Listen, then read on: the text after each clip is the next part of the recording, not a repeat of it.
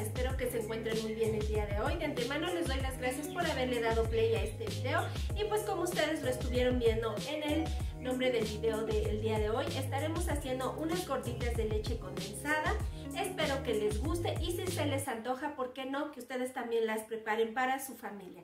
Así es que vamos a comenzar. Acompáñenme. Y pues les muestro los ingredientes.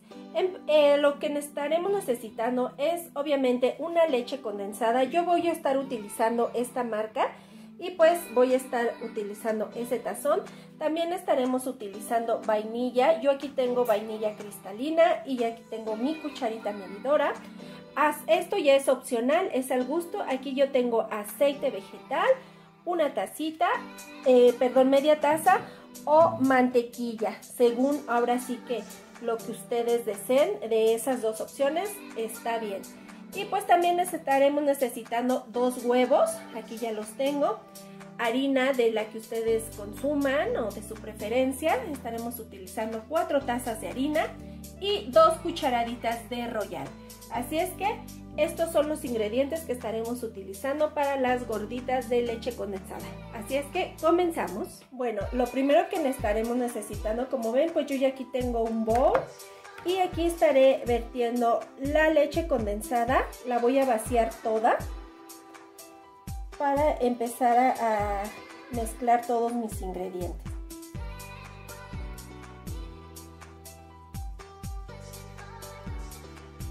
Ahora también voy a, poner, a vaciarle lo que son las, los dos huevos. Voy a ponerle lo que es el aceite vegetal. En este caso, como les dije, pueden utilizar mantequilla si es de su preferencia. Yo en este caso estaré utilizando aceite vegetal y voy a estar poniéndole dos, eh, tres cucharaditas de vainilla. Esas también es a su gusto. Yo voy a estar utilizando, como les digo, tres tres cucharaditas y pues esta vainilla es vainilla cristalina. Ahora vamos a mezclar todos los ingredientes. Yo tengo este globo y pues lo voy a estar mezclando todo hasta incorporarlo bien.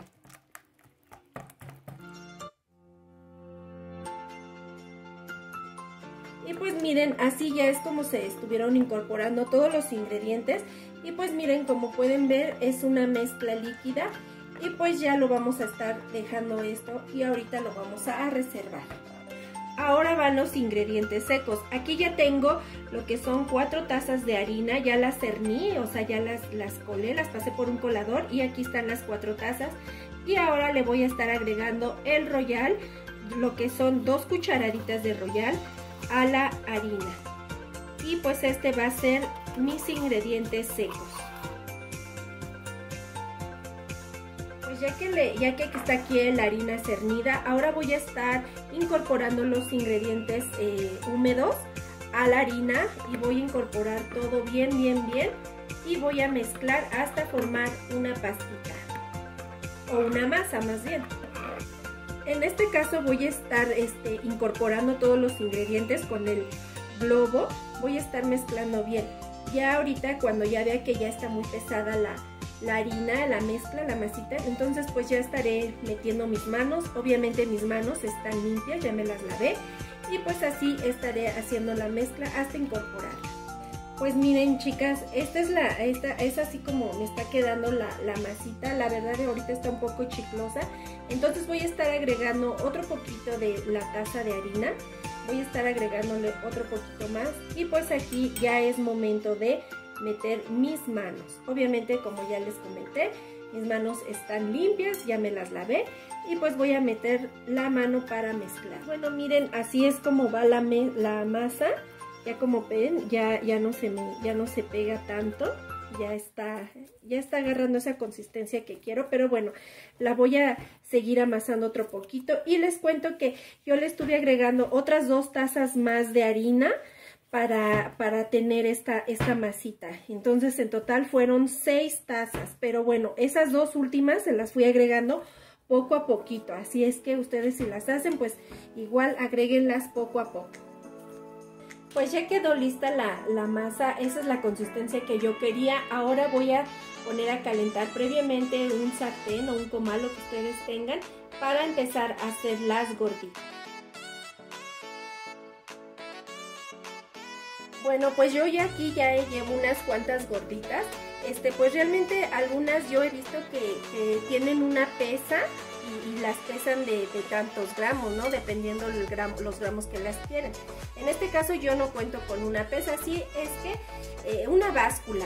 Entonces, pues yo las voy a estar, las estoy haciendo de acuerdo a, a más o menos le estoy calculando yo el grueso y el tamaño que yo quiero pero ahora sí que si ustedes tienen una báscula y las quieren hacer todas del mismo tamaño y peso, pues eh, es una buena opción.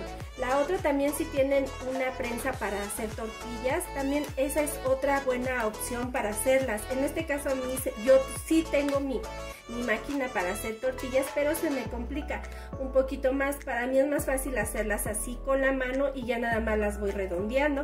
Entonces estas gorditas son las que yo tengo y pues ahora voy a empezarlas a colocar en el sartén para que se empiecen a cocer.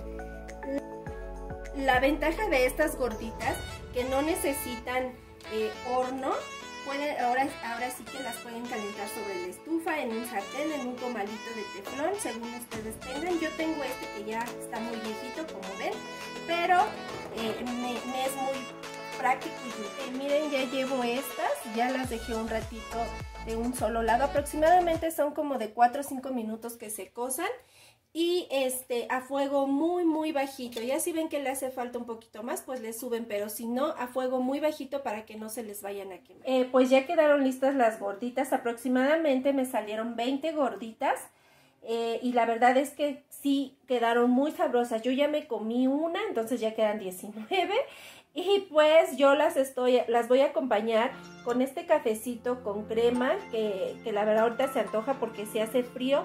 Y pues espero que ustedes también, este, pues ojalá y se animen y las hagan y pues me dejan en los comentarios qué tal les parecieron estas gorditas. Y bueno, pues también yo estuve haciendo este video porque me lo había pedido una personita muy especial para mí, Fabis, y aquí hice la, el video, espero que te guste. Y pues te mando un saludo. Y pues también quiero mandar un saludo a unas amiguitas que eh, eh, conocí a través de esta plataforma que es YouTube. Y pues les mando un saludo a mi amiga Tere Márquez Vlogs, Janet de la Rosa, Jessie Godínez, Georgie Vlogs y Jessie Limón, mamá mexicana. Hola amigas, ¿cómo están? Espero que se encuentren bien. Y de antemano pues les pido a ustedes que pasen a ver sus canales y si es de su agrado pues las apoyen. Pues ya sin más que decirles, espero les haya gustado este video. Si fue así, regálenme un like, comenten, suscríbanse y activen la campanita de notificaciones para cuando yo les suba un video, les notifique a ustedes. Nos vemos en el siguiente video. Hasta pronto. Bye.